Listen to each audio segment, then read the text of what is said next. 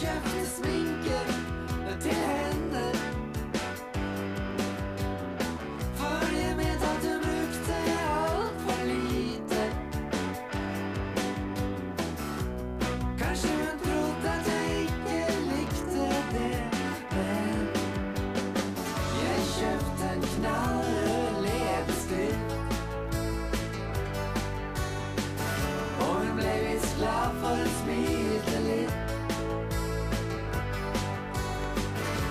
jokes and pours.